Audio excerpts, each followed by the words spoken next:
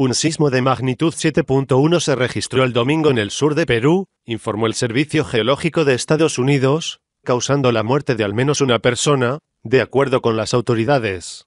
El temblor se produjo a las 4.18 horas y tuvo su epicentro en una zona del Océano Pacífico 42 kilómetros al suroeste de la ciudad andina de Acari, a una profundidad de 36 kilómetros, según el USGS. En un inicio habían calculado la magnitud en 7.3.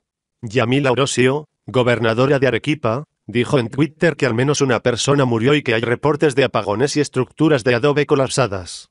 El Centro de Advertencia de Tsunamis del Pacífico emitió más tarde una alerta de tsunami para tramos de las costas de Perú y Chile.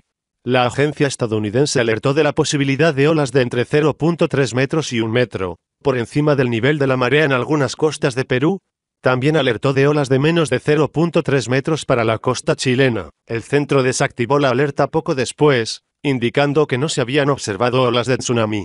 La Dirección de Hidrografía y Navegación de la Marina de Guerra del Perú informó que el temblor no genera alerta de tsunami en el litoral peruano. Sin embargo, aclaró que continúa la vigilancia y evolución del evento sísmico. De igual forma lo hizo el Centro de Operaciones de Emergencia Nacional, quien descartó un eventual tsunami a raíz del movimiento telúrico en el sur del Perú.